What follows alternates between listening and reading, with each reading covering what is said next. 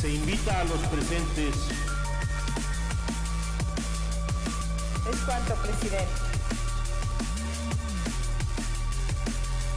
De conformidad con los acuerdos de esta sesión,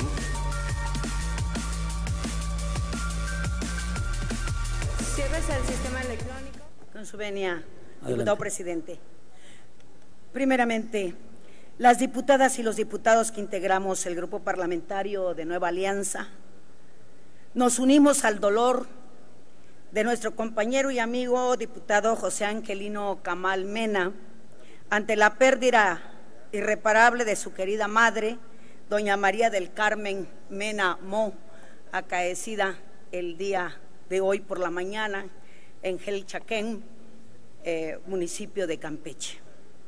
Compañeras y compañeros diputados, el Grupo Parlamentario de Nueva Alianza ve con optimismo el diálogo anunciado entre los jornaleros agrícolas en paro y los patrones del Consejo Agrícola del Estado de Baja California.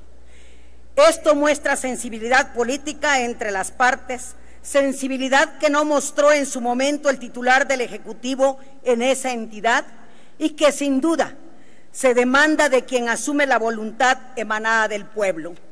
Brindamos nuestra solidaridad con los que justificadamente luchan por la defensa de sus derechos y hacemos votos para que los acuerdos beneficien y regularicen la situación laboral en que se encuentran más de 80 mil trabajadores agrícolas en esa entidad. Sin embargo, la situación que llevó a los jornaleros de San Quintín a manifestarse no es exclusiva del estado de Baja California. No había pasado ni una semana del rescate de 200 jornales agrícolas en el estado de Baja California Sur, cuando el lunes nos enteramos que en Colima la Secretaría del Trabajo y Previsión Social procedió al rescate de 49 trabajadores indígenas mixtecos del estado de Guerrero. Y lo más grave es que entre ellos se encontraban 13 menores de edad que laboraban en el campo, situación expresamente prohibida por nuestra ley federal del trabajo.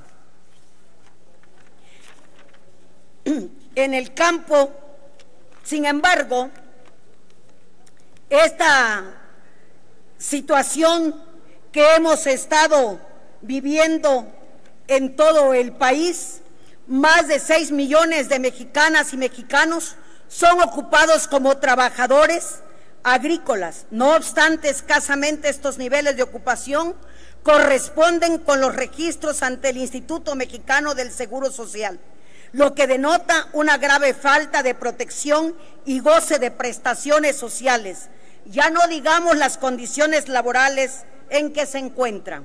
Por ello, a nombre del grupo parlamentario de Nueva Alianza, el diputado Angelino Camal presentó el día martes un punto de acuerdo coincidente por el cual se exhorta respetuosamente al titular de la Secretaría del Trabajo y Previsión Social para que, en coordinación con los titulares del Ejecutivo en los estados, se implementen las inspecciones laborales que sean necesarias a fin de garantizar y proteger los derechos laborales de quienes trabajan en el campo, así como la sanción de quienes emplean a menores de edad.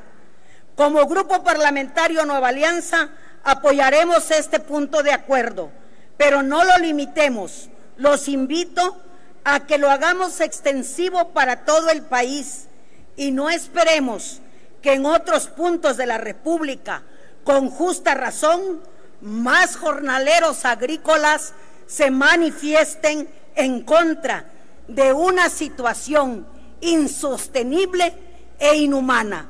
Por su atención, muchas gracias. Es cuanto, diputado presidente. Gracias, diputada Sonia Rincón. Cámara de Diputados, sexagésima segunda legislatura.